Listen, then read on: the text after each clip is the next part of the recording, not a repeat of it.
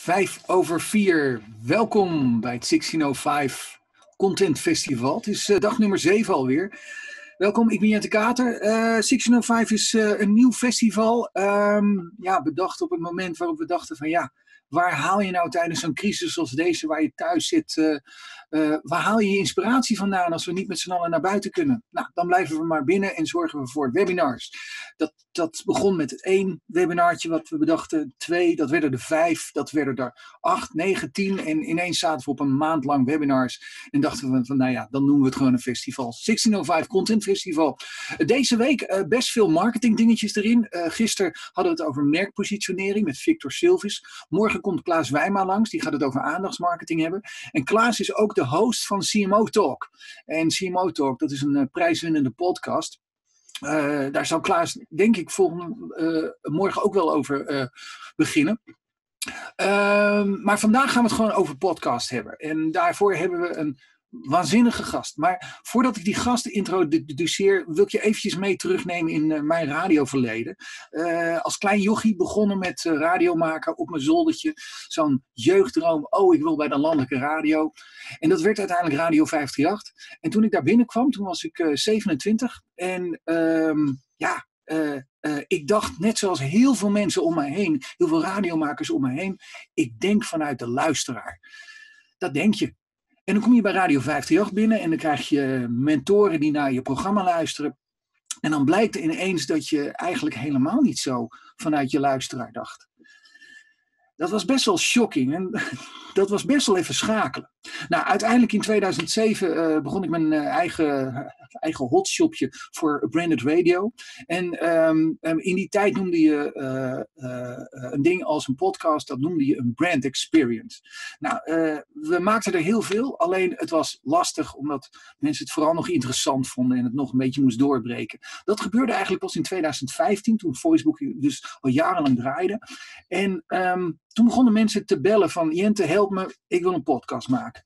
En toen dacht ik wel van ja, maar met die ervaring die ik heb vanuit die paar jaar dat wij met branded radio bezig waren, dacht ik wel van ja, ik wil wel eerlijk zijn. En um, er waren in die tijd best wel veel mensen die ik uh, dus uiteindelijk ben wezen afraden van ik weet niet of je een podcast moet gaan maken. Misschien moet je gewoon een leuk videootje maken, maar een podcast, daar komt toch wel heel veel bij kijken. He, want wat je bij zakelijke podcasts heel veel merkt, is dat het veelal gemaakt wordt door mensen die niet radiomaker zijn, maar die gewoon een specialist zijn in een bepaalde richting. En daar is niks mis mee, alleen je moet het niet te makkelijk vinden. Denken van, oh, ik ga wel eventjes een podcast maken. Want je hebt dus luisteraars. En luisteraars die hebben een eigen willetje. En het eigen willetje, dat uh, ja, betekent vaak dat ze gewoon stoppen met luisteren als ze denken, ik vind niet interessant. Er zijn dus heel veel basiswetten in de radio. En dus ook met podcast. En daar moet je je aan houden. Uh, ehm, 50 starts, 50 stream starts met je podcast. Ja, is leuk. Maar uh, hoeveel, hoeveel vrienden waren dat? Hoeveel collega's waren dat? Trek die er even allemaal vanaf. En hoeveel mensen luisterden het nou uiteindelijk uit? Dus hoeveel stream ends had je? Nou, nu wordt het langzaamaan interessant. Maar goed, oké. Een webinar over podcast. Daar moet je dan wel iemand voor vragen die, die, die zowel dat radio begrijpt, maar ook begrijpt hoe dat nou met zo'n zakelijke podcast werkt. Iemand die aan beide kanten van het spectrum zit. We hebben even moeten zoeken, maar we hebben hem gevonden. Dat is Sander de Heer. Uh, je kent hem misschien als uh, sidekick van uh, Ruud de Wild. hij heeft zijn eigen ochtendshow gehad op 3FM. heel lang op Radio 2 de ochtendshow gehad. En um, die die skills dus van zowel het radio maken als, als eindredactie voeren, die heeft hij. En uh, ik weet zeker dat hij die gaat delen vandaag in deze webinar. Uh, heb je ondertussen vragen? Deel ze gerust. Dat kan uh, via Zoom onderin het scherm. Daar heb je de QA. Mocht die niet onderin je scherm zitten, ga dan even met je muis naar onderen. mocht je op dit moment via de livestream op Facebook kijken, dan laat het dan gewoon weten via de comments. Zullen we beginnen? Sanne de Heer over podcasting in uh, dag 7, aflevering 7 van het 1605 Content Festival. Veel plezier.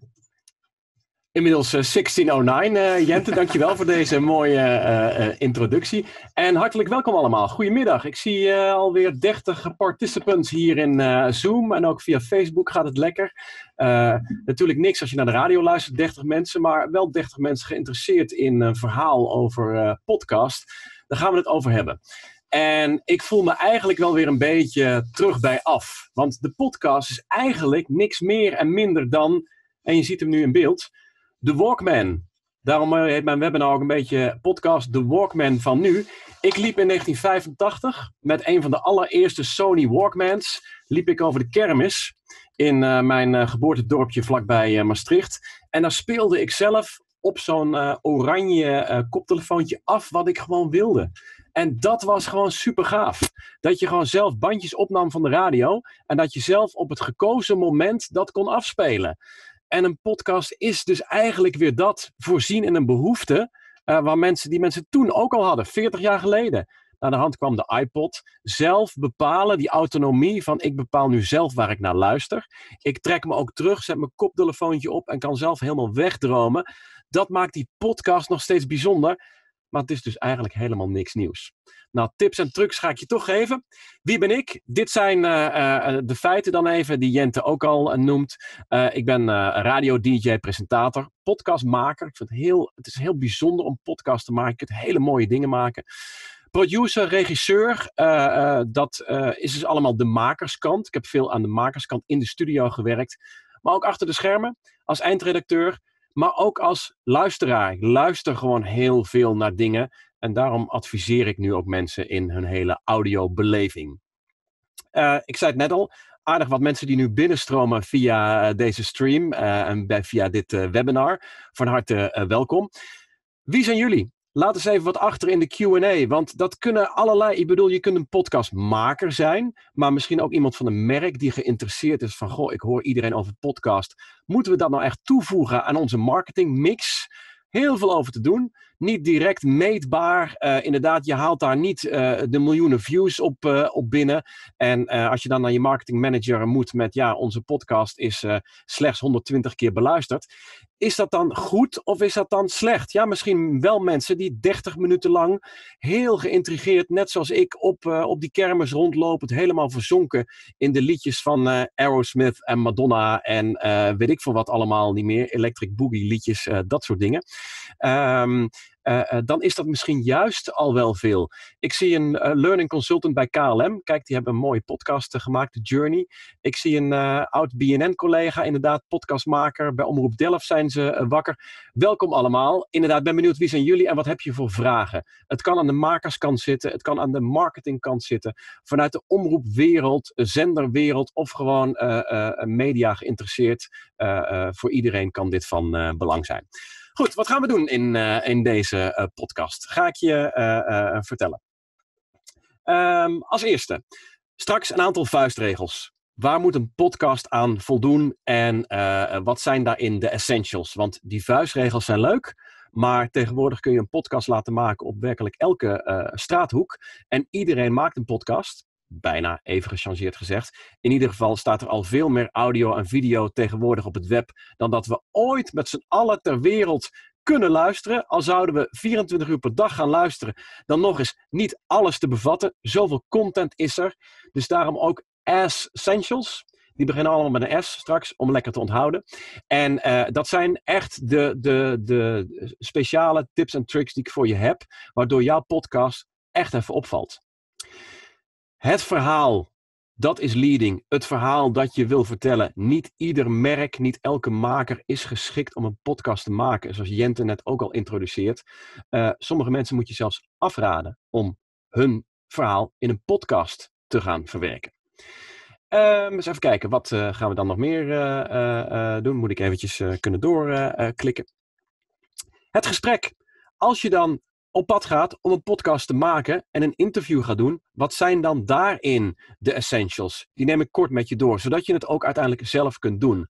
Daar ben ik wel op gericht. Uh, je hoeft geen duizenden euro's uit te uh, geven om iemand anders jouw podcast te laten maken. Dat is het mooie. Je kunt het in feite gewoon allemaal zelf. En nog wat technische tips om het uiteindelijk uh, zelf te doen. Dat gaan we doen. Maar als eerste de vraag: Waarom een podcast? Waarom zou je nu in deze tijd een podcast uh, uh, aan je klanten, aan je vrienden, in je mediamix tentoon spreiden? Nou, als eerste, een podcast is persoonlijke communicatie. Er is geen beter medium dan dat mensen echt ervoor gaan zitten, op een playknop drukken, oortjes indoen en naar jouw verhaal gaan luisteren. Persoonlijker en intiemer kun je het eigenlijk niet hebben.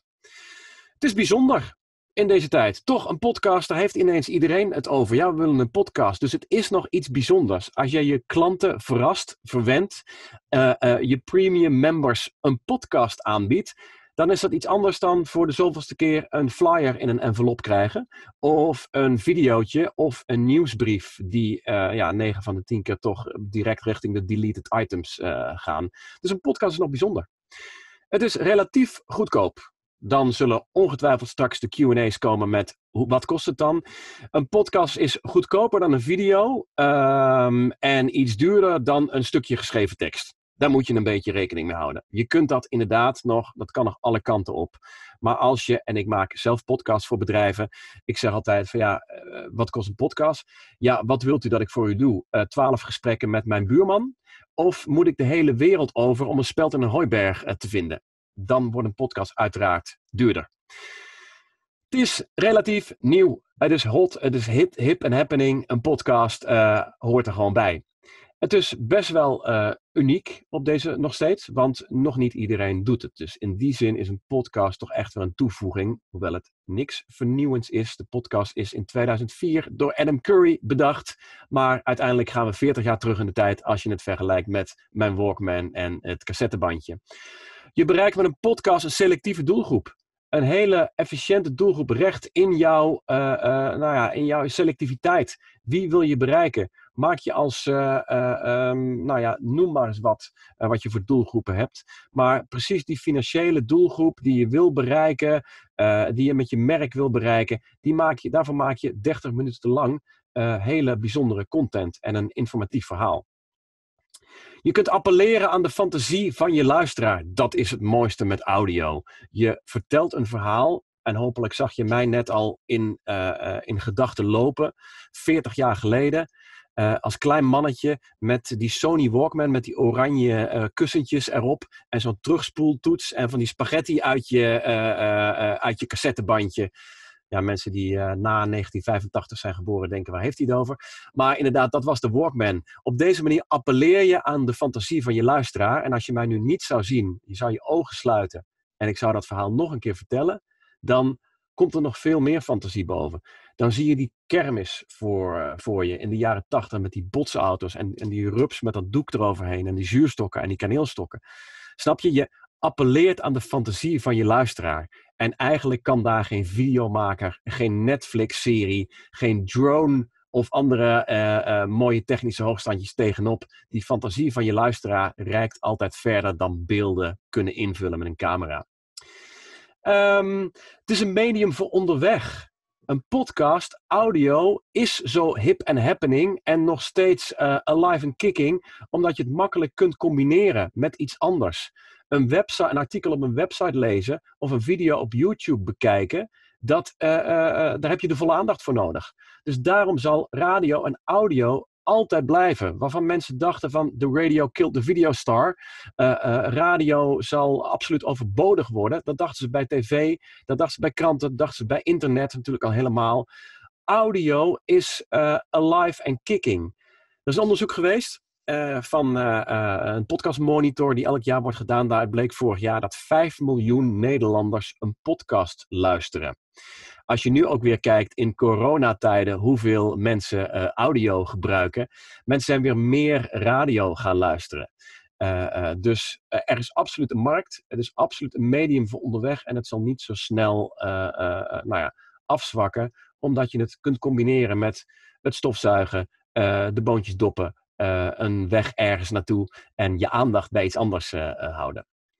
Gelukkig steeds meer marketeers zien ook de waarde van podcasts. Het zij in een marketingmix met andere instrumenten, maar er wordt op reclamebureaus en contentbureaus steeds vaker gesproken over het inzetten van een podcast.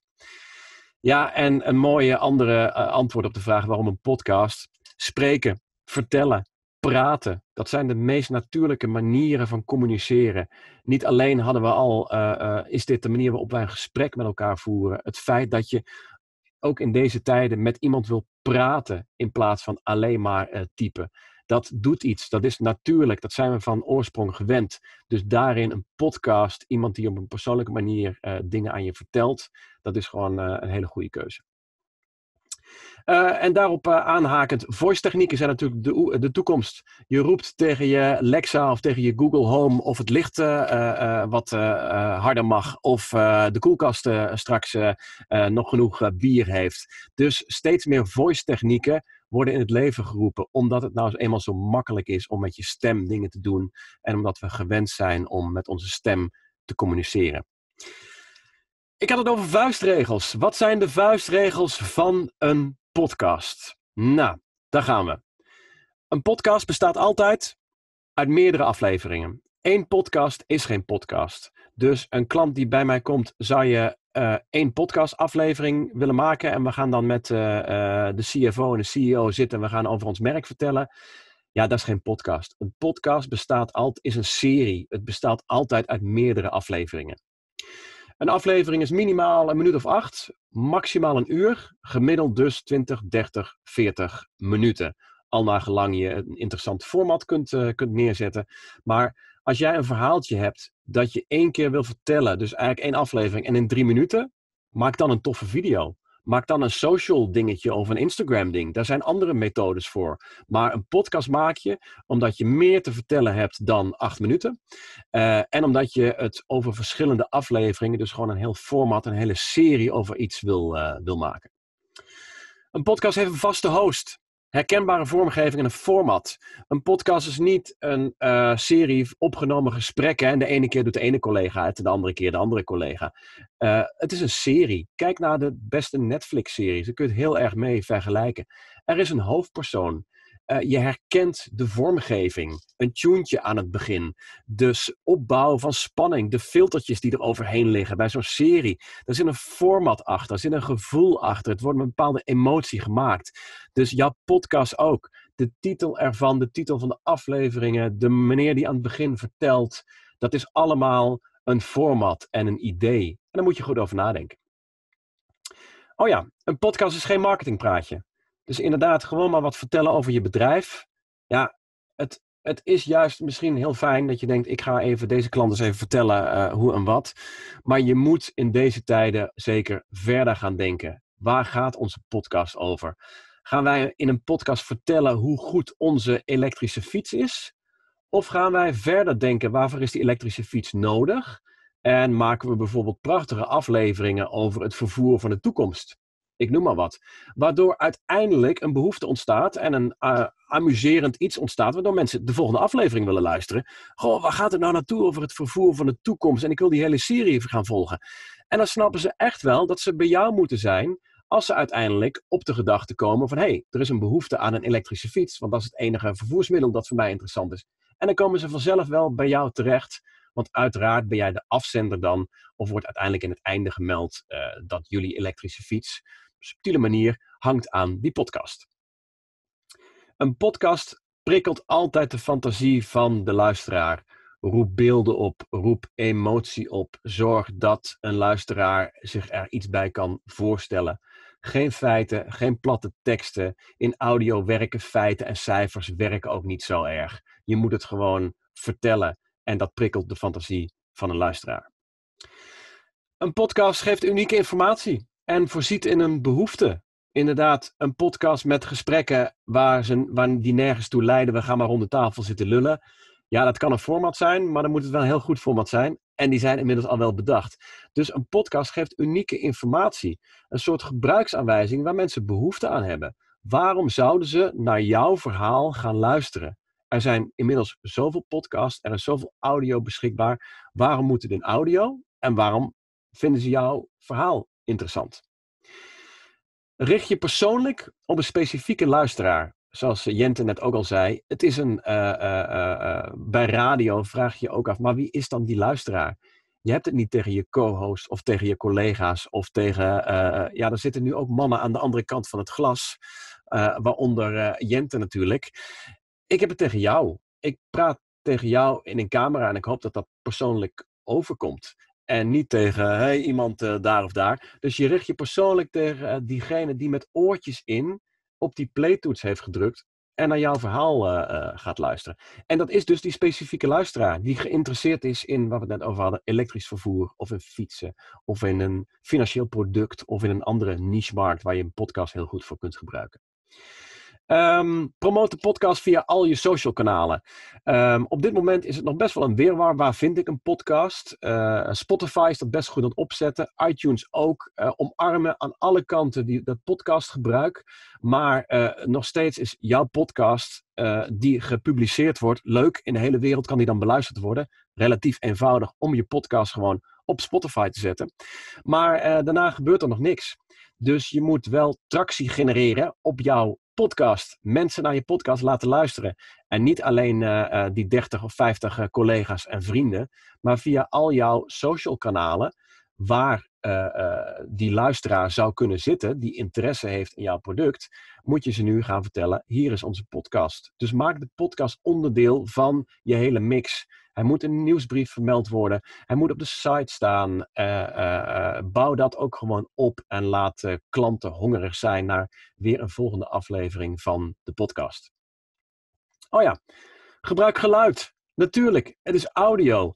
Er moet muziek in zitten, daar kun je over nadenken. Er zijn hele sites met inderdaad library muziek ook uh, rechtenvrije uh, uh, muziek, jingles, vormgeving, bij voice booking. Als je klant hier bent, dan is natuurlijk al lang duidelijk hoe belangrijk het effect is, of wat het effect is van een goede stem die een verhaal vertelt. Maar special effects. Ik hoorde een podcast van NRC, die hebben een mooie wetenschapspodcast, Onbehaarde Apen. Die ging over sprinkhanen.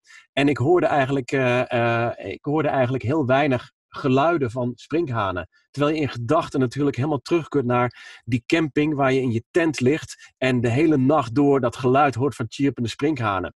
Die wil je dus horen. Nou, dat zijn een beetje uh, uh, de vuistregels. Voor we doorgaan, want ik zei het in het begin al, vuistregels zijn leuk, maar die kent inmiddels iedereen. Het gaat om de echte essentials. Wat zijn er echte dingen waar je mee kunt spelen om het verschil te maken?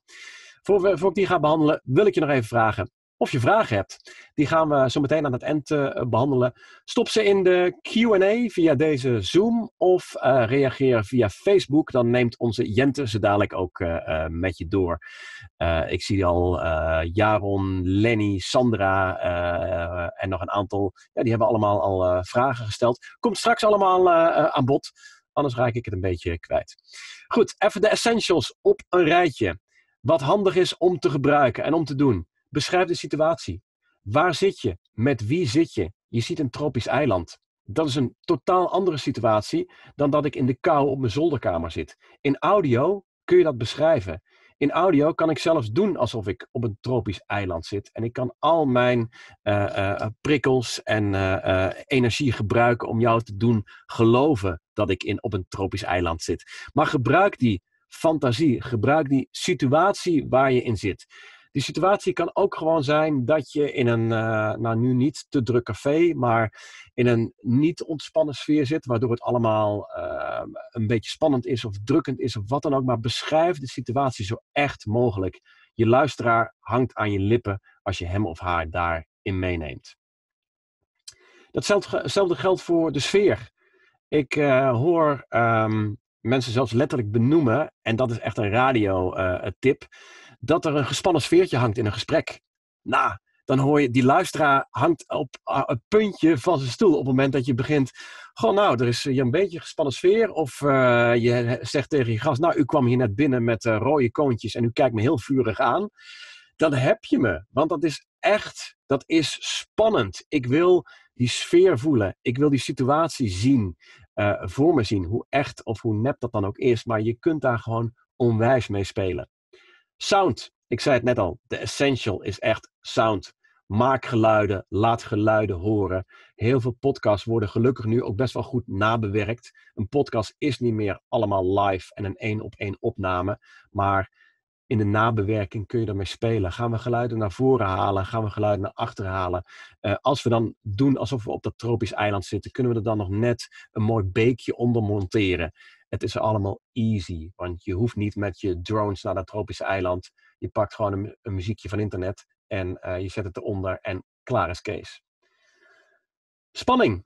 Er moet iets gebeuren. En die spanning die kun je op verschillende manieren opbouwen. Die spanning bouw je op door in je stemgebruik ineens heel anders te praten. En nu ziet dit er belachelijk uit, nu ik ineens zo in die camera kijk.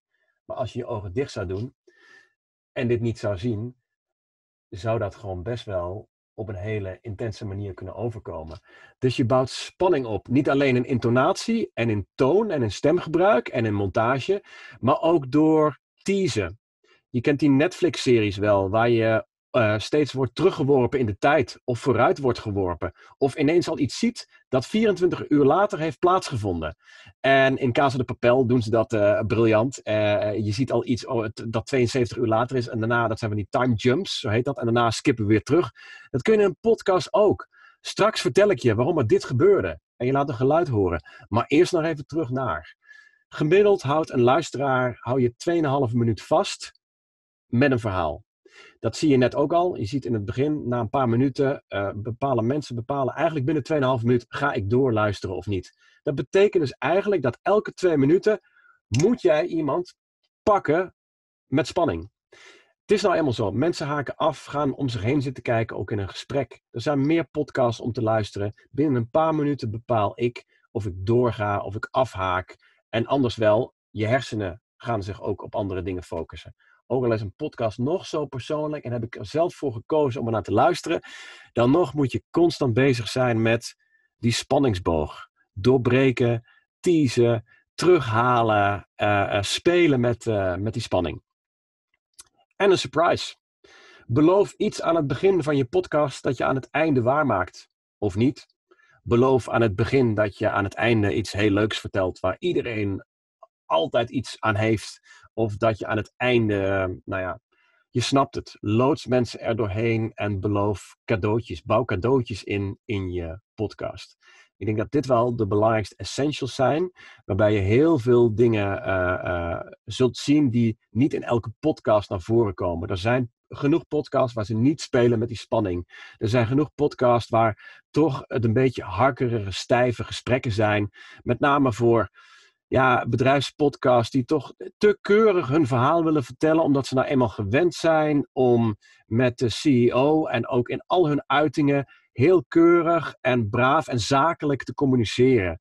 Een podcast is toch een best wel, ja, eh, is, is toch iets meer ontspannen en mag best wel persoonlijk zijn en mag je best wel iets meer van, van jezelf uh, vertellen. En, en mensen zitten daar, vinden dat ook best wel leuk. Dat is de reden waarom je nou, op de radio het toch wel prettig vindt dat er altijd dezelfde stemmen tegen je aanpraten. Dat die op een bepaalde manier praten. Dat die hun stem op een goede manier gebruiken. Dus speel met die essentials.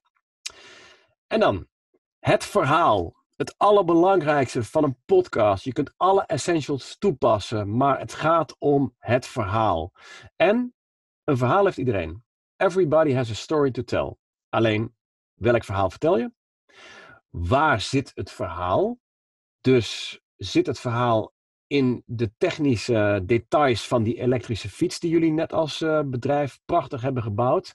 Of zit het verhaal veel meer in de gebruiker die ineens in een half uur uh, uh, op zijn werk is met zijn elektrische fiets? Of zit het hem veel meer in de fietspaden van de toekomst? Of je kunt nog veel verder denken, waar zit het verhaal? Maar begin niet alleen maar wij maken een podcast, wij verkopen elektrische fietsen.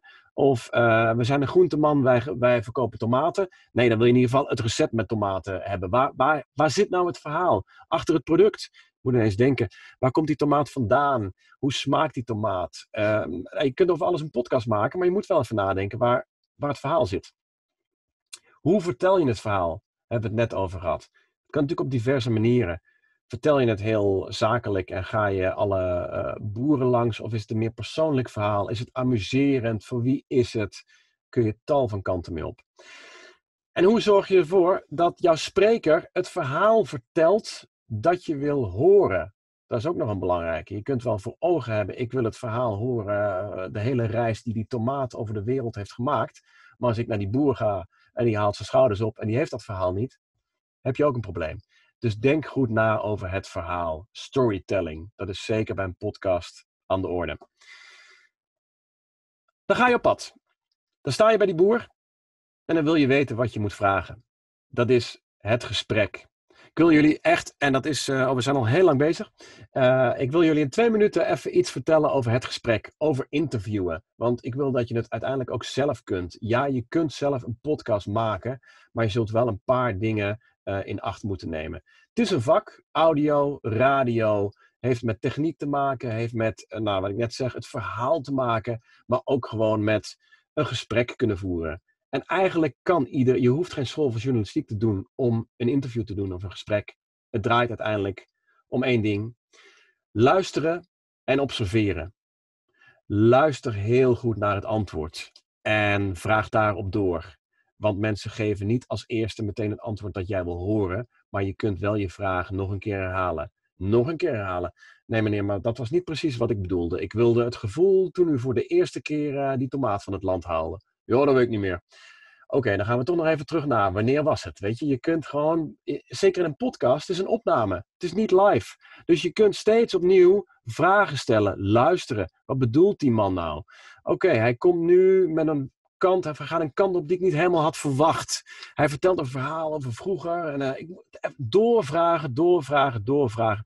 En vooral goed luisteren. De slechtste interviewers zijn mensen die niet luisteren, die een zelf vooringenomen antwoord al hebben, die je de keuze laten. Maar wanneer ontstond dat? Ontstond dat eigenlijk in de tijd dat u dacht, uh, ik ga dit doen? Of ontstond het in de tijd dat u uh, met het idee verder ging? Ja, wat moet je dan nog antwoorden? Ja, dat weet ik niet meer, antwoordt dan iemand. Omdat er een vooringenomen keuze wordt neergelegd. Nee, gewoon, wanneer ontstond dat idee? Laat iemand nadenken ook. Laat hem even, geef hem ook even de ruimte. Val ook even stil. Hou die microfoon voor je of ga achteroverleunen en stel gewoon de vraag: hoe ging dat? Hoe voelde u zich erbij? Wat dacht u op dat moment? Dan hoor je echte gevoelens, echte verhalen van mensen. Open vragen, vragen naar emoties en een gesprek voeren. Uh, eens even kijken, dan uh, zijn we bij uh, de technische tips die ik nog heb. Want iedereen vraagt, ja, hoe maak ik dan een podcast? Nou, even een paar technische tips. Bereid je voor. Ga je op pad? Ga je een gesprek in? Heb je apparatuur? Test die apparatuur. Bereid je voor. Maak vragen. Weet waar je naartoe uh, gaat. Kom op tijd. Dat zijn eigenlijk een paar hele simpele dingen, maar het is wel belangrijk. Ga van tevoren, zoals ik net al zei, nadenken over dat verhaal dat je wil halen. Want eenmaal terug in de studio, hoe mooi je het ook nabewerkt met geluiden, met tropische eilanden en muziekjes. Als jij niet hebt nagedacht over je format en je verhaal en je daar niet op voorbereidt, dan kun je uiteindelijk in de nabewerking heel weinig. Uh, test je apparatuur, zei ik al, en neem omgevingsgeluid op. Je podcast kun je perfect maken met alle geluiden die je daar hoort en ziet. Dus ben je bij dat agrarisch bedrijf waar je uh, de, de, hele route van een tomaat gaat uh, analyseren, dan wil je uiteindelijk in je podcast die boerenwagen wil je gebruiken. neem gewoon met je microfoon na de opnames ook wat omgevingsgeluiden op. Spreek je gasten voor. Bij uh, radio en tv is het al heel belangrijk. Dan doet een redacteur het. Bij podcasts kun je het natuurlijk makkelijk zelf doen. Of het nou dagen vooraf is aan de telefoon, als je een boer opbelt die je vraagt van wilt u meewerken met een podcast, dan hoor je het ook al snel. Maar ook ter plekke voordat je het opnameapparaat stap, uh, start. Stel iemand op zijn gemak. Bereid hem voor op wat je ongeveer wil gaan weten. Niet alles. Maar zeg wel van nou, uh, dit gaan we doen. Ik zou heel graag wat meer willen weten over. Zorg ook dat ze weten wie jij bent. Breek het ijs. Maak kennis met ze. En uh, spreek ze voor zonder maar gewoon ergens je microfoon onder een neus te duwen. En dit is wat ik van u wil horen. Krijg je zelden een goed verhaal. Ja, maak foto's en video's tijdens de opname voor promotie. Want dat vergeten mensen nog, want dan komen ze thuis en hebben ze misschien de omgevingsgeluiden, alles op de band staan. Alleen geen beeldmateriaal. Ja, ik snap het, het is audio, maar uiteindelijk wil je ook weer je audio promoten via socials. En dat doe je met een fotootje. Dat doe je met een video.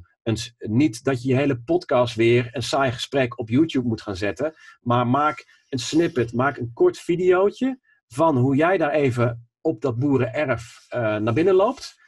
Dat kan al genoeg zijn. Vraag desnoods, als je ook geen cameraman bij je hebt, vraag de boer om jou zelf nog even te filmen terwijl je met je microfoon vragend rondloopt, zoekend naar die tomaat.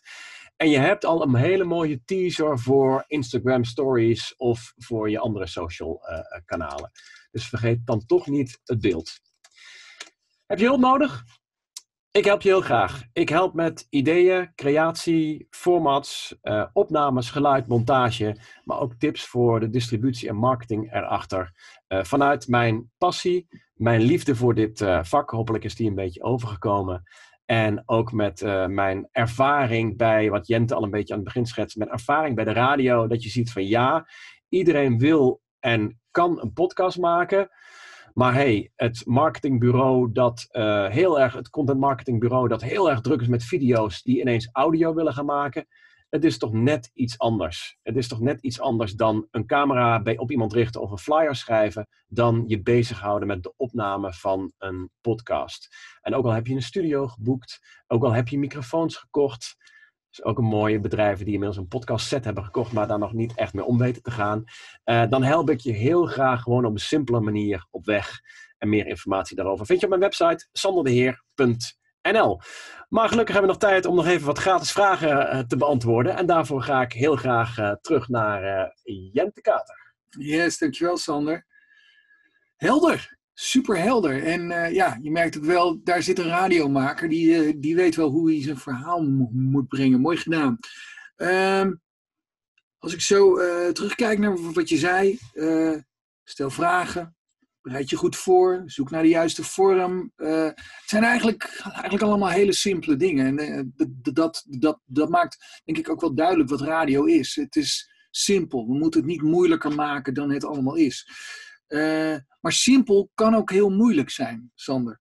Um, als jij terugkijkt van, van al die simpele dingen, wat vond jij nou echt moeilijk om te leren als radiomaker?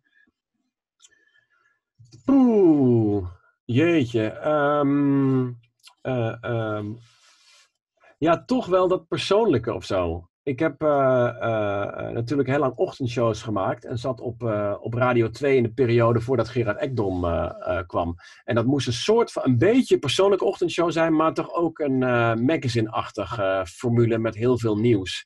En um, op, op die manier is het, is het, het is precies wat jij zegt. Het is het makkelijkste wat er is. Want eigenlijk moet je op radio en dan is ook in een podcast doen alsof ik uh, een gesprek zit te voeren in de kroeg of uh, op een terras. Namelijk, het moet echt zijn en het moet kwetsbaar zijn. Maar tevens is dat ook het moeilijkste wat er is. Want het is niet logisch om kwetsbaar jezelf te zijn en in een microfoon te zitten praten.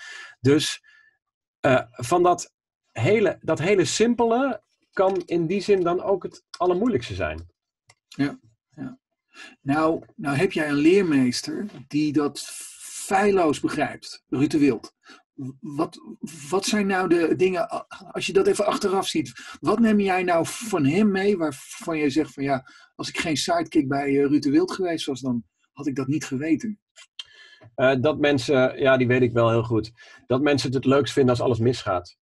dus ja, eh, Ruud heeft het nog steeds in zijn show. Een, uh, een, uh, een, oude, een ouderwetse telefoon waar hij de hele tijd op kan slaan als er geen verbinding is of dat hij iemand zoekt. Wij gooiden in de, destijds ruudwild.nl in, het, in de Gouden Eeuw is dat ongeveer. een prullen, als een gesprek saai werd, gooide ik of Jong Kijkende Vechten een prullenbak of een asbak door de ruimte, toen nog. om, maar wat, om, om maar te ontregelen. En uh, dat is het leukste bij uh, radio. En dat bij podcast.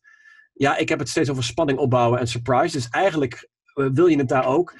Je wordt van je stuk geworpen of je krijgt extra attentie als er iets gebeurt dat je niet verwacht.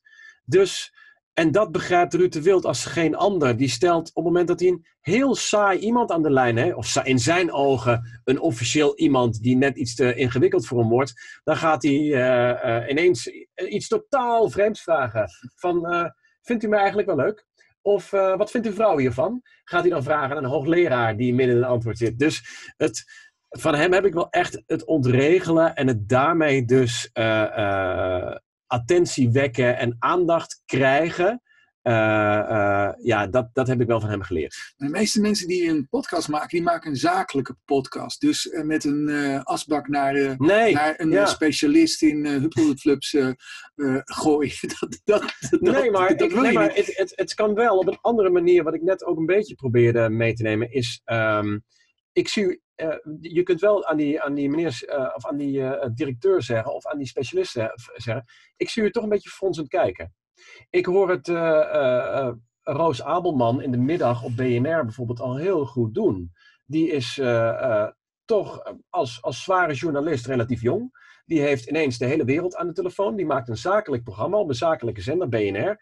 Maar die durft toch persoonlijk te zijn. Die zegt wel, inderdaad, ik, zie, ik geloof dit toch niet helemaal. Hey, en dan denk ik, wow, dit heb ik zelf ook op dat moment. Of ik zie u fronsen, of ik zie dat u toch niet zo blij bent met dit verhaal. Weet je, de, de, directe communicatie, waardoor je niet direct ontregelt, maar je maakt het wel spannend. Ja. ja, het is een van de belangrijke lessen als je mensen interviewt en je bent geen advocaat van de duivel aan het spelen, dan is de kans dat je in slaap gaat vallen of even terug naar die luisteraar, dat die luisteraar gewoon simpelweg afhaakt, die is aardig groot.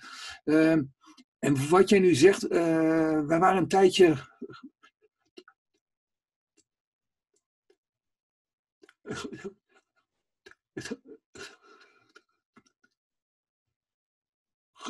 Leden waren wij met een, een podcast bezig, waar we tegen de, de uh, radiomaker, of dus eigenlijk de radiomaker in spe zeiden van, joh, minder lief zijn, je moet advocaat van de duivel spelen. En toen uh, een interview later, toen, uh, toen was diegene een, uh, een persoon aan het, aan het interviewen en, en, en ik sukkelde eigenlijk een beetje weg, terwijl ik aan de, aan de andere kant van het, het glas zat. En ik zat eventjes op mijn iPhone iets te checken en ik hoor zo een beetje half in mijn eh, oor hoor ik hem op een gegeven moment zeggen van, ja, u zegt dat nou wel, maar uh, is dat nou wel zo? En ik stond ineens helemaal scherp. Ja, tuurlijk. En ik vond het zo mooi dat, dat, dat, dat, dat op de een of andere manier uh, in de mens zit een soort activatie.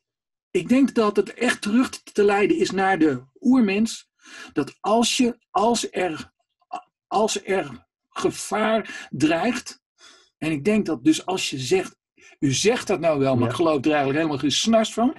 Als je dat hoort, dan sta je gewoon, je hersenen die zeggen, nu moet je luisteren. Ja. Prachtig. Absoluut, absoluut. Um, wat vind jij nou het grote verschil tussen live radio en podcasting? Nou, bij podcast kun je al deze dingen uh, daarom vind ik podcast zo'n mooi medium. Uh, gelden al deze wetten nog veel meer. Kijk, bij radio is het toch live. En kun je met achtergrondgeluiden en spelen met stem. Kun je niet zo. Ja, kun je dus wel dingen doen. Als in. Ja, dan gooi je maar een asbak door de ruimte om spanning te creëren. In een podcast kun je de hele muziek laten stilvallen. Kun je extra seconden stilte inlassen. Van u zegt dat nou zo. En op dat moment laat je de muziek aanzwellen. Ik noem maar iets. Als je echt zo'n hele mooie, sfeervolle podcast maakt, dan kun je nog veel meer kanten op. Mensen gaan zitten voor een podcast en gaan daar heel actief naar luisteren. Dus dat is toch weer heel anders dan die radio die op de achtergrond aanstaat. Je kunt met podcast nog veel meer dan, uh, dan live radio. Ik vind podcast eigenlijk het ja, uh, uh, radio 2.0 waar um, uh, als je het met video uh, vergelijkt, is ja, een, een Facebook Live of een Instagram Live is 1.0, maar een speelfilm maken en een documentaire maken is higher level. Ik vind dat dat, dat de podcast is in, in de audiowereld. Mooi. Mooi gezegd. We gaan even een uh, rondje vragen doen. Mocht je zelf een vraag hebben, laat het vooral weten in Zoom via de question and answers. En als je op uh, Facebook zit, op de livestream, dan kan het gewoon via de comments. Um, lekkere lijst, Sander. Dat krijg je ook als je vanaf het begin al gaat vragen van jongens, zeg wat. En bijvoorbeeld de simpele vraag stelt van wie zijn er aan het kijken? Want dan, dan zorg je dat die schapen over de dam komen. Dat is ook ook in de podcasterij werkt dat ook. Even kijken. Um, even zoeken. Goed voorbereid, hè, Sander? Um, fantastisch. Um, Ik wil mijn roman als podcast uitgeven, dat zegt Danny Butler. Wat zeg jij? Ja, uh, kijk, alles wordt tegenwoordig onder podcast geschaard. Je kunt een documentaire maken in audio, je kunt uh, gewoon een gebruiksaanwijzing maken in audio, je kunt een luisterboek maken in uh, audio. Dus um, ja, uh, als dat betekent dat je gewoon, nou gewoon, dat je een luisterboek gaat maken, of dat je daar nog veel meer dingen aan gaat toevoegen, ja, graag. Het aantal podcasts dat, dat gewoon een mooi audioavontuur is en ik kan daar helemaal in weggezogen worden en meegenomen worden. Uh, uh, graag, toch? Ja. Hier een vraag van uh, Jaron Messeka. Hopelijk spreek ik je naam goed uit. podcast maken hier, zegt hij. Als je eenmaal de podcast hebt geproduceerd, waar kan je deze dan het beste kwijt? Ehm, hosting, productie, distributie, over dat soort dingen heeft hij het. En ja. hoe denk je over sponsoring? Een hoop vragen in één keer. Ja, uh, ik, heb het, uh, ik heb het bewust niet behandeld, omdat er best wel veel technische dingen dan bij komen kijken. Ja. En ik vind het ook, het is ook eigenlijk de minst moeilijke kant van het verhaal. Als jij je verhaal hebt, als jij volgens je gesprek en je onderwerp hebt en je hebt je montage, zijn er genoeg hostingsprogramma's of het is hetzelfde als de website van je bedrijf, als die helemaal af is. Ja, zijn er tegenwoordig zoveel makkelijke tools om hem online te krijgen. Uh, je moet alleen zorgen dat je tractie genereert. Dus dat, dat, dat je wel uh, je, uh, je podcast aan de man brengt. Maar tegenwoordig kun je via heel veel hostingsplatforms. Kun jij in, met één druk op de knop. stuurt hij hem naar iTunes, Spotify en alle andere luistermogelijkheden. dus dat is een kwestie van een beetje googlen. je hebt tegenwoordig ook apps daarvoor. Anchor is de meest bekende als de anchor van een nieuwsprogramma. Um, zo schrijf je het. En Anchor heeft als voordeel dat het eigenlijk gratis is. En dat je van, zelfs vanuit je mobiele telefoon muziekjes ertussen kunt hangen. En dan met één druk op de knop kun je hem publiceren. Dus er zijn tal van uh, ja, bedrijven die daarop inspelen. waarbij je en kunt hosten en vanuit die hosting direct kunt publiceren. Ja, ja, ja. Sandra Hikes of, of sorry. uh, sorry Sandra. Uh, contentmaker in hart en nieren zegt ze. Uh, hoe kun je ervoor zorgen dat luisteraars aan je lippen blijven hangen? Um, ja, ik denk dat dat is wat we net al besproken hebben. Hè? Dat zijn die essentials. En um, ja, dat, dan, dan, vraag ik me af, Sandra, wat je, wat, of je alles hebt ge, geluisterd de afgelopen uur. Ja. Maar volgens mij hebben we dat wel uitgebreid behandeld. Ja. Um, er zijn 5 miljoen luisteraars, zei je net. Ja. Dus, dus, dus er zijn 5 miljoen mensen die wel eens naar een podcast luisteren. Dan zijn er ontelbaar veel podcasts. Um, ja, hoe val je programma technisch dan nog op? Dus, dus, dus laten we even een simpel voorbeeldje nemen. Um, uh, heel veel podcasts, uh, het, nou, of, of, of, of de early adopters van de podcast, die uh, zitten heel veel in het, het online hoekje. Dus er zijn bijvoorbeeld heel veel marketing podcasts, Ja. online marketing. Um, Laten we die even als voorbeeld nemen. Uh, uh, uh, jij bent een online marketingbureau en jij denkt van oké, okay, branded content, we gaan iets met podcasting doen. Maar dan zijn er dus tientallen, nou ja, nee, duizenden, duizenden marketingpodcasts. En je wil wel hoog in dat iTunes en de, dat Spotify-lijstje komen. Uh, wat voor een haakje zou jij pakken? Ja, Of wat zou je vooral niet doen? Ja, ik vraag me af of dat het juiste uitgangspunt is. We willen een podcast maken. Je moet als eerste de behoefte peilen. Is, is jouw verhaal geschikt voor podcast?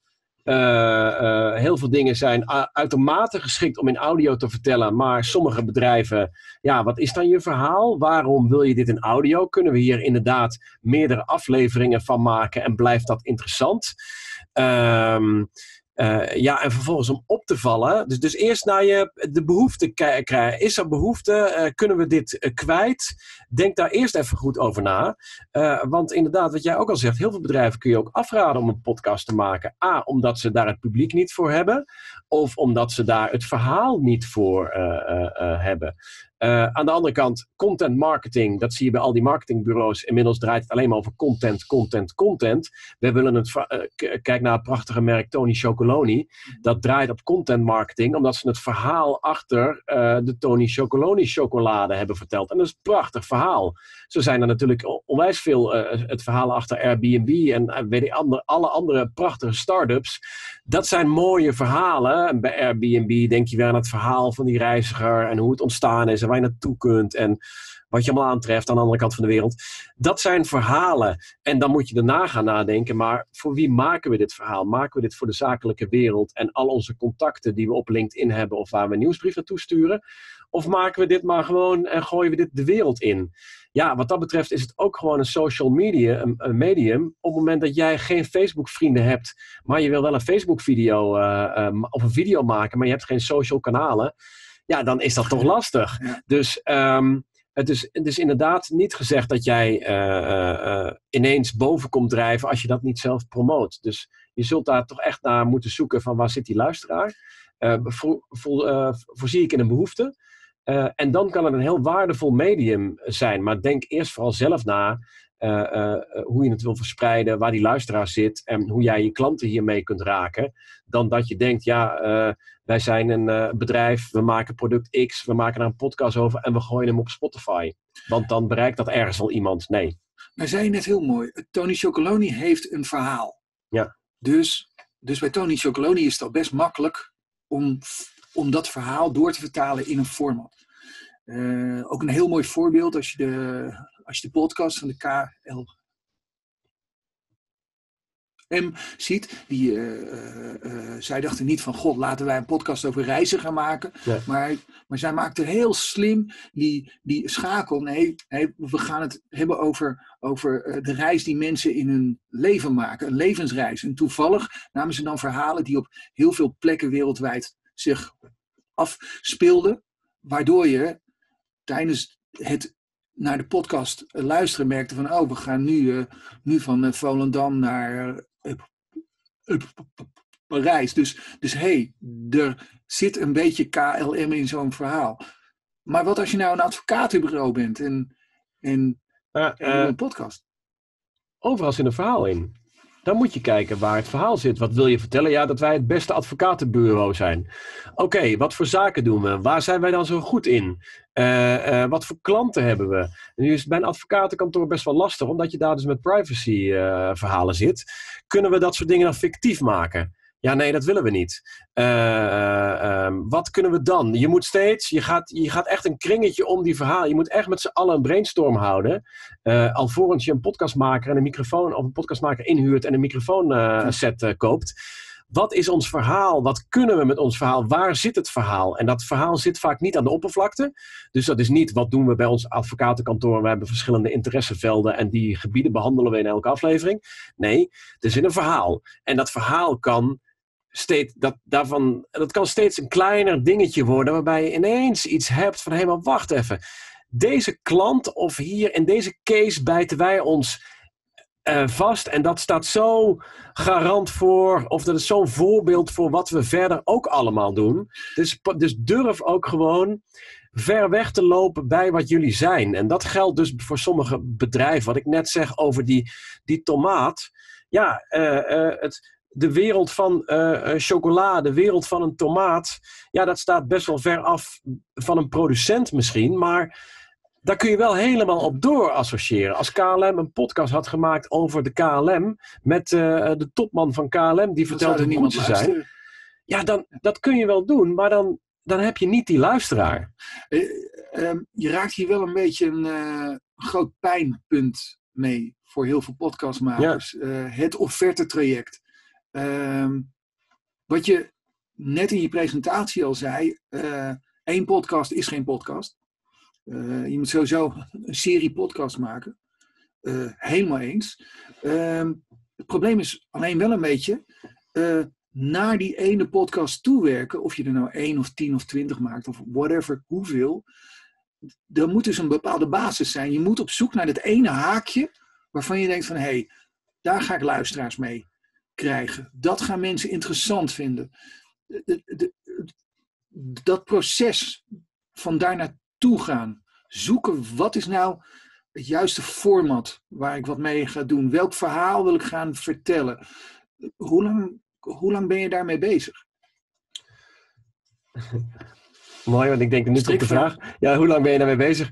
Uh, twee weken. Nee, um, uh, dat, ja, dat hangt er vanaf. Dat, ik, ik denk dat dat gewoon de, de lunchtalk kan zijn. Weet je, dat je met z'n allen in een net iets andere omgeving bent. Uh, vraag er ook eens even een paar mensen. Bij. Ga niet alleen met de marketingafdeling stoeien over een podcast, maar trek eens even een klant erbij. Of juist een advocaat, of uh, juist niet. Weet je, je vrouw of je man. Of we gaan eens even brainstormen. Probeer eens even out of the box te denken van... Maar wat, wat, is nou, wat vinden wij zelf... Wat is nou een verhaal dat onszelf aangrijpt? Ja, nou denk ik eventjes als een, uh, als een klant zoals we, wij uh, die bijvoorbeeld laatst samen meemaakten... waarmee we aan het praten waren.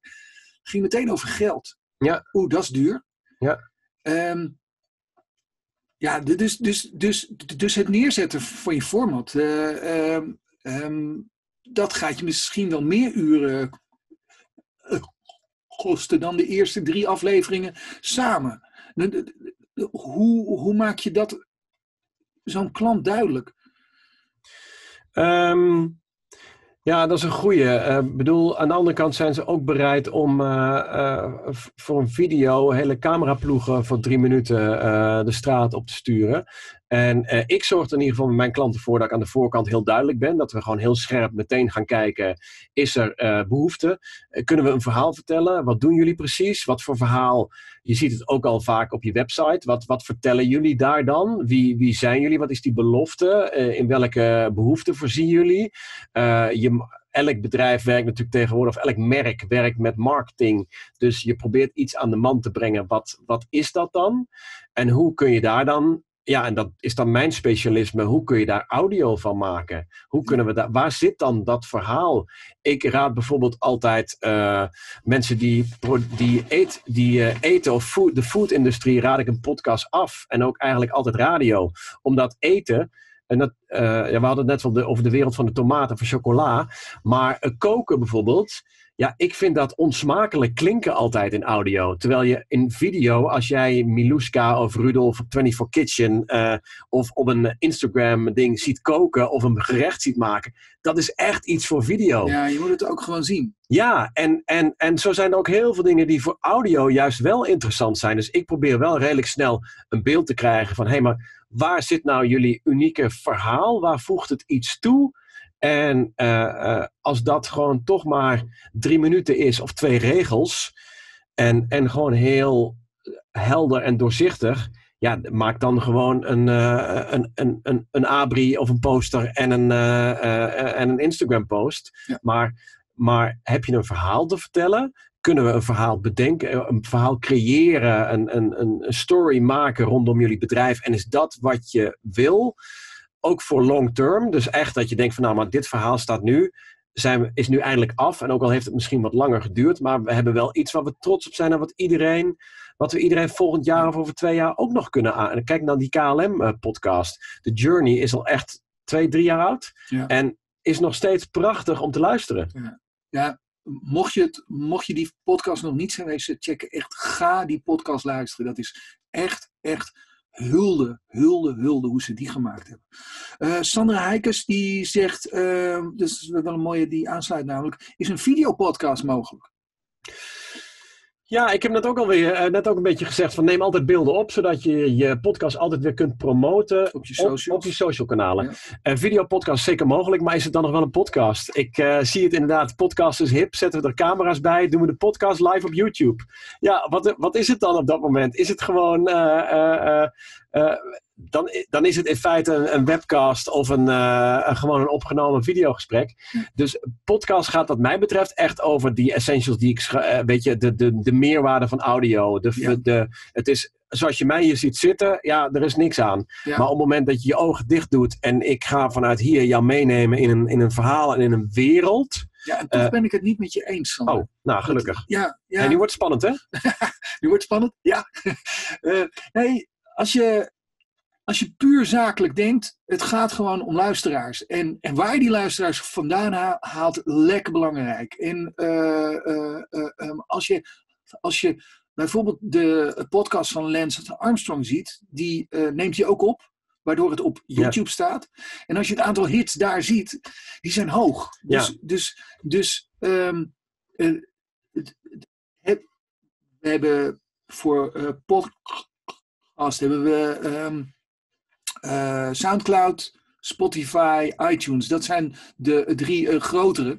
En ehm, als je daar het aantal ehm, eh, views op YouTube naast zet, Ja, dat kan zoveel zijn. nee, natuurlijk. Maar in, in maken, op het moment dat je dan vervolgens. Je beperkt je. Want dan ga je dus alleen maar. Kijk naar Joe Rogan, de grote Amerikaanse comedian. die nu voor 100 miljoen of meer aan Spotify is verkocht. met zijn podcast. Ja. eh, dat is niet omdat hij nou zo'n geweldig audioformat heeft, want hij- maar hij zit gewoon met spraakmakende gasten in een studio achter de microfoon. Het is wel het echte van radio, namelijk gewoon puur een gesprek met elkaar eh, hebben face-to-face, zonder decor en zonder eh, vernuftige camerastandpunten of instarts. Maar ehm, je beperkt je wel in, in audio. Het is alleen wat je live op eh, YouTube kunt Ja. gooien, is een gesprek, is een vorm waarbij wij een gesprek voeren met elkaar. Dus je bedoelt eigenlijk, laat die podcast pod, podcast zijn. Eh, dus als je er beeld bij doet, leuk. Maar mensen moeten zich eigenlijk niet met dat beeld bezig gaan houden. Het moet niet Nou- het perfecte shot worden. Het, nee, het is een, het is een vorm. Als je kiest. Kijk, binnen podcast heb je verschillende vormen. Mhm. Als je kiest voor de vorm een studio setting aan tafel waarbij we gewoon een uur lullen. Ik vind dat niet de meest uitdagende vorm, want iedereen doet dat. We gaan met z'n drieën ergens over praten, noemen we een podcast, gooien we online. Dat kun je inderdaad, daar kun je een camera op zetten. En inderdaad, wat jij zegt, om je bereik te genereren of om een hoger bereik te krijgen, eh, zet hem ook vooral als video weg. Want op YouTube heb je weer andere mensen die je bereikt. Maar als jij een audioproduct wil maken, wil je iets maken dat in de fantasie speelt, wil je alle kanten op kunnen. En probeer ik nog te denken alleen vanuit audio. Dus dat betekent niet per se. Kijk, als ik gewoon ben lang, langs ben geweest bij die boer over die tomaten en mooie geluiden heb opgenomen. Ja, dan heb ik niet mijn hele podcast gefilmd. Want dan had ik een documentaire willen maken, snap je? Dus eh, eh, podcast is in die zin eh, meer dan die drie microfoons rond de tafel. Dus niet altijd makkelijk direct naar YouTube te vertalen. Je had het net even over die 100 miljoen. Eh, dat is bizar dat iemand als podcaster binnengehaald wordt bij, bij Spotify voor zoveel geld. Maar dat, dat, zegt wel heel veel over, over hoe het met de podcast gaat. Ehm Blendel wil eigenlijk betaalde podcasts hebben. Hoe, hoe sta jij daar tegen? Gun. Over. Ja, eh, kijk, het is natuurlijk eh, volledig terecht dat je op een of andere manier eh, denkt van hoe kan ik mijn verdienmodel hier aanhangen. Want ik zat laatst een prachtige podcast te luisteren, ook echt een aanrader, Wind of Change. Het gaat over eh, eh, het nummer van de Scorpions uit eh, eind jaren tachtig en over het ijzeren gordijn en hoe de CIA daarin een rol zou hebben bij het componeren van dat nummer is een Amerikaanse eh, podcastmaker die, de, die zo'n beetje de hele. Die gaat naar Berlijn en die gaat naar Moskou. En die gaat, dat he- die gaat één ding dus, dus één detail, helemaal uitwerken. Ja, dat kost natuurlijk bakken met geld om dat te maken. Kijk naar eh, De Brand in het Landhuis, de prachtige podcast die door de NPO eh, gesponsord is. En de NPO trekt best nu wel budgetten uit. Ja, dat is belastinggeld. Dat krijgen, we, krijgen ze niet- zeker niet terug met het aantal luisteraars qua podcast. Dus dat is nog best wel een lastige. Dus ik, ik snap wel dat er nu verschillende dingen worden opgetuigd om eh, eh, te verdienen aan podcasts of om geld achter podcasts te zetten. Het is alleen het aloude principe, eh, wat we ook bij video hebben gezien en bij kranten zien. Maak je, zet je je paywall aan de voorkant. Kortom, jij moet betalen voordat je toegang krijgt. Dat zorgt er weer voor dat ve- veel minder mensen uiteindelijk jouw product gaan lezen of horen of zien. Of zorg jij ervoor dat jouw product voor iedereen te lezen, te horen of Ja. te zien is? En ga jij daarin of daarna een soort van eh, ehm, eh, verdienmodel hanteren? ja. En beide, eh, of al die, beide wegen worden natuurlijk bewandeld. YouTube is voor iedereen gratis, maar je krijgt wel commercials voor en na. In de podcastwereld wordt nu ook al geëxperimenteerd. Sterker nog, in Amerika is het niet meer dan normaal dat er gewoon een reclameblok in jouw podcast zit. vinden mensen ook allemaal prima. Dus ja, in, in de advertentiewereld heb je het ook nu. De kranten die toch met premium abonnementen. dat is natuurlijk een wereld. waar Spotify moet je natuurlijk ook voor betalen. wel of niet reclames tussendoor en een premium abonnement. Ja, ik denk zeker dat dat voor podcasts ook gaat gelden. Nou, we moeten het ook zeker een keer in een volgende webinar puur over het verdienmodel hebben van de podcast. En uh, morgen trouwens hebben we een webinar met uh, Klaas CMO Talk. Uh, ik zal zeker in de question and answer aan het einde het nog eventjes met Klaas hebben over het verdienmodel achter CMO Talk. Want, want, want dat is waar hij vooral prijzen mee wint, omdat hij dat heel goed door had. Maar dat is dus een tease naar morgen. voicebooking.com slash webinar schrijf je in. Uh, Max, hebben we nog kijkers? Moeten we nog even doorgaan? Of, uh... Zeker, 26 kijkers nog, op dit moment. Nog steeds 26. Leuk. Zijn er nog vragen? Ja. Even kijken, ik zie... Nee. Oké, dan, dan, dan, dan, dan, pakken we hem even door. Uh, zullen we eventjes snel door een paar vragen heen knallen, uh, Sander? Dus even snel uh, antwoorden. Probeer het zo hm. vloeiend mogelijk mijn vragen te stellen. Jeffrey Keizer, welke podcast is volgens jou een goed voorbeeld? Nou, je had die Wind of Change net al. Heb je er nog een paar? Ik vind de Belgische podcast van audiocollectief Schik fantastisch. Dan heb je het over Bob, dan heb je het over uh, hoe heet nou, die eh, El Tarangu gaat over een wielrenner. En in het begin dacht ik, ik ben niet zo'n wielrenfreak. Nee, maar het gaat over, en dan wordt die spannend, een wielrenner die overleden was, maar ineens weer gesignaleerd is en tot leven is gewekt. Okay. hey, dan denk je, en dat maken ze zo spannend. Daar zitten zoveel mooie spanningsopbouwen in. Dus die dames van Audio Collectief Schik, die, uh, ja, die staan erom bekend hoor, maar die, die pluizen alles uit en dat is zo mooi. Cool. Ja, ik ben zelf trouwens op dit moment met de Showbiz-moord ja, van de NPO. Ja. Die, die, is fantastisch. Ja. Ja. Um, even kijken. Uh, Serena Westra, welke uh, werken podcastmakers altijd met hun eigen apparatuur? En zo ja, welke huren jullie een studio in en waar vind je die? Ja, goede, um, goede vraag ook. Ik, ik had gisteren inderdaad een sessie met iemand die ik uh, echt op het spoor wilde zetten van ga het vooral zelf doen. En die vroeg dat ook, maar hoe dan, hoe dan, hoe dan? Um, je kunt betrekkelijk eenvoudig uh, zelfs podcastspullen kopen. Dat wil zeggen, er zijn echt speciale podcastopnameapparaten. Ja. Uh, mobiel. Reuder heeft nu een hele goede. Wat zeg je? Reuder ja, heeft nu een ja, hele goede. Ja, ja. 400 euro ongeveer. Precies. En dan heb je voor, uh, inclusief microfoons en dingen, ben je voor nou, tussen de 800 en 1500 euro heb jij een volledige podcastset. Die best wel gebruiksvriendelijk is. Um, ja, je kunt natuurlijk altijd dat soort dingen ook huren, maar gelukkig werken we in de, of leven we in de woeste wereld van bakshop. Dus er is vrij eenvoudig, goede professionele apparatuur, dit soort microfoons. Kun je, kun je tegenwoordig als consument ook lekker online uh, gewoon kopen. Dus als jij zelf wil gaan podcasten en je hebt je verhaal en je, hebt, je weet zeker dat dit een succes is.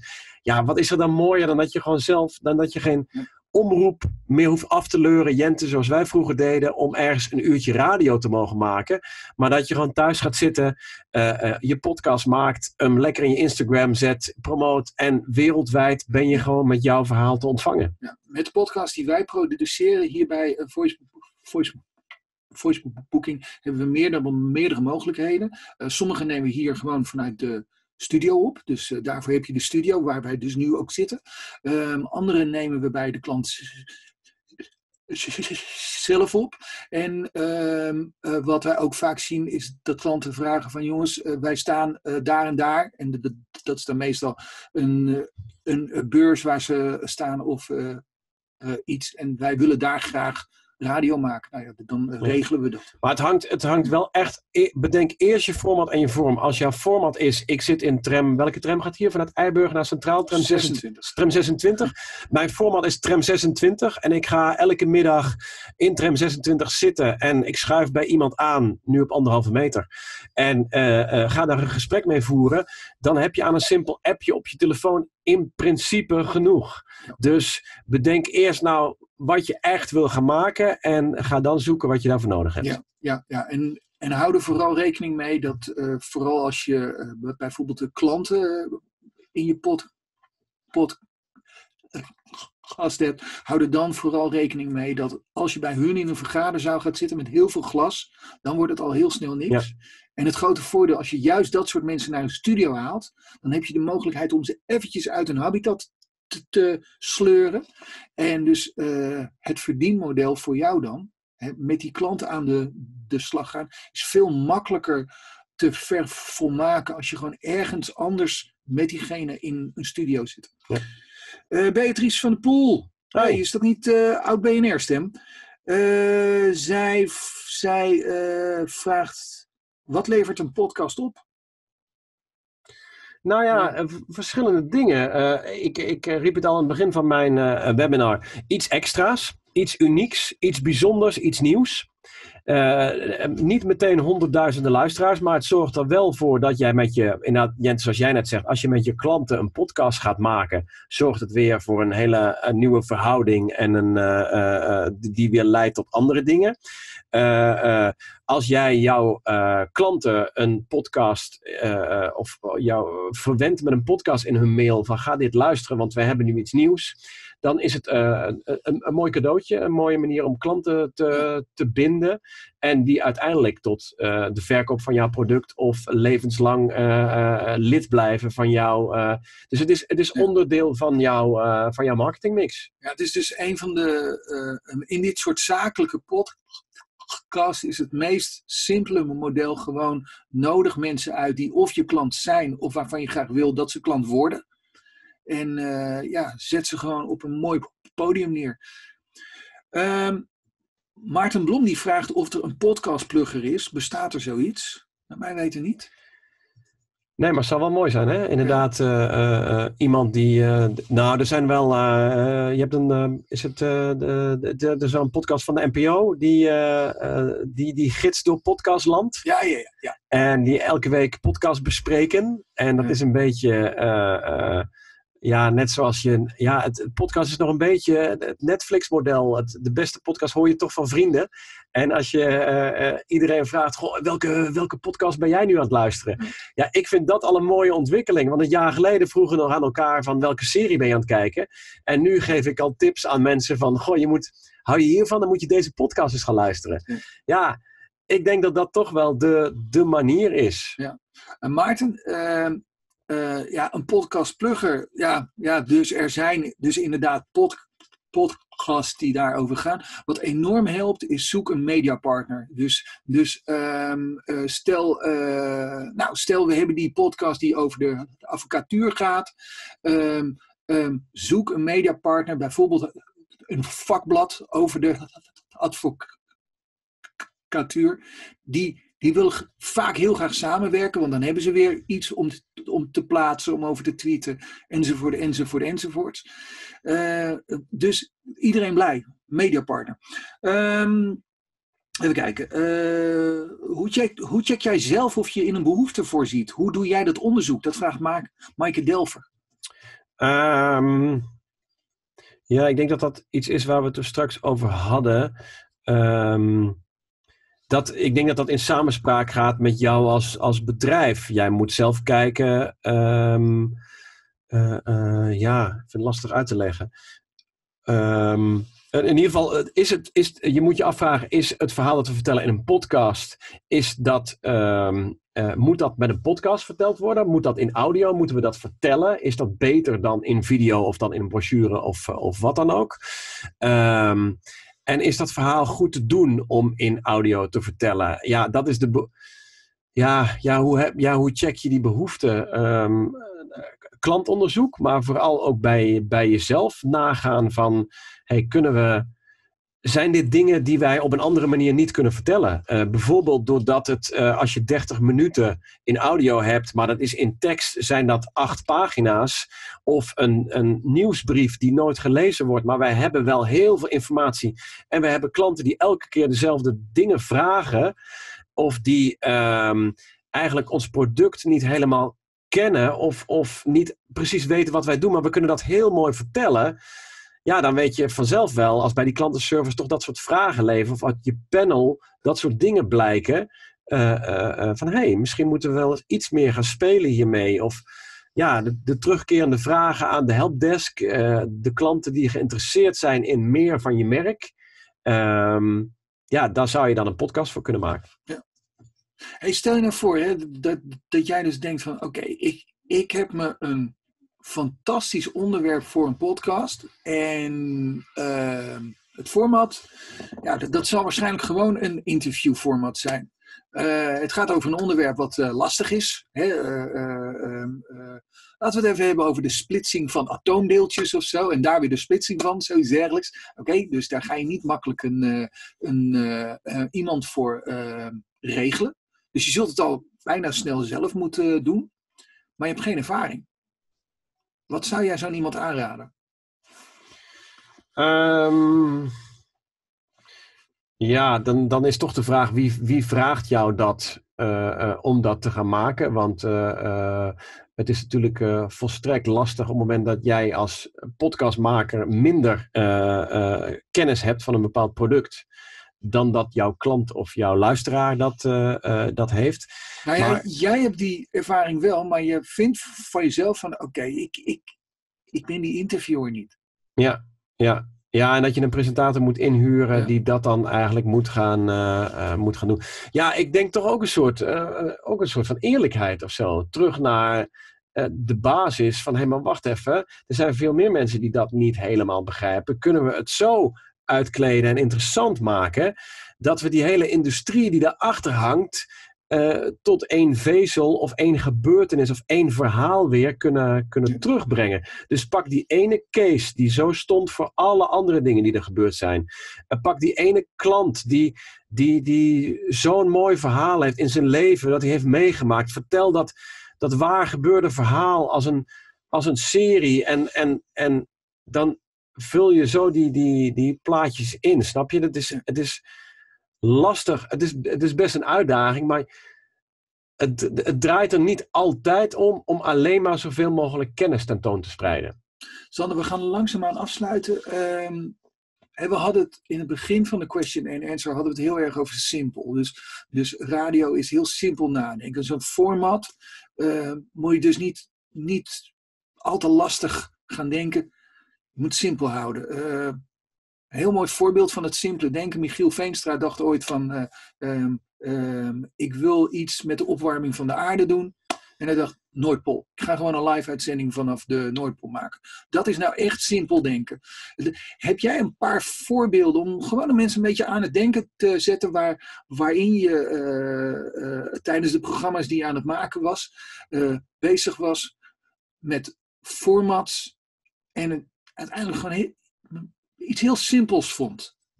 Wat dan werkt. Uh, ja, ik heb ooit. Uh, nou, we hadden het afgelopen jaar natuurlijk weer toen het 40 graden was. Ik heb ooit een paar jaar geleden, jaren geleden, Radio Vriesvak gemaakt. Toen was het bloed en bloed en bloed heet.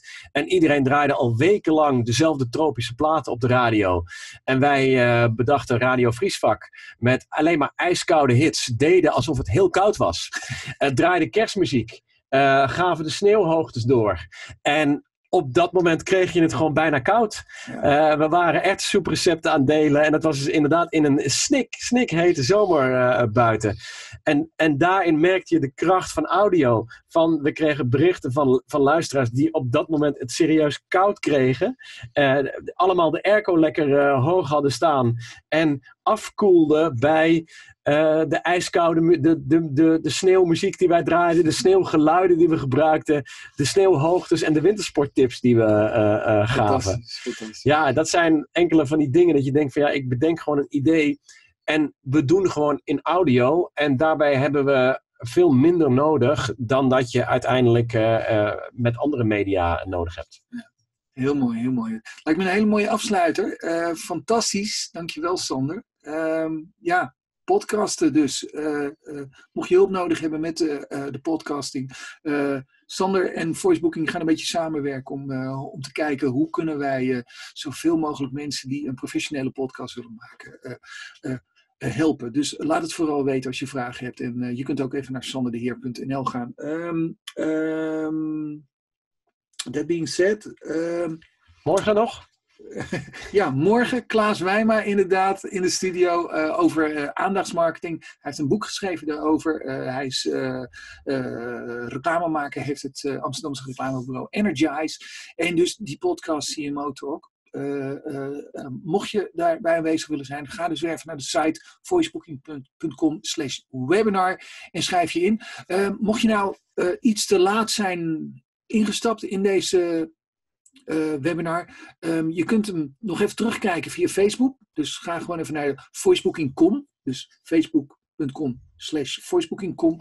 En uh, morgen of overmorgen zal deze webinar ook via onze eigen site ook te bekijken zijn. Sander, dankjewel. Uh, ja, ik zou zo een uur willen doorpraten. Je weet hoe het gaat. Hebben, hebben we ook al gedaan. ja, dat hebben we gedaan. Inderdaad. Uh, super dank. Dankjewel. En bedankt voor het kijken allemaal.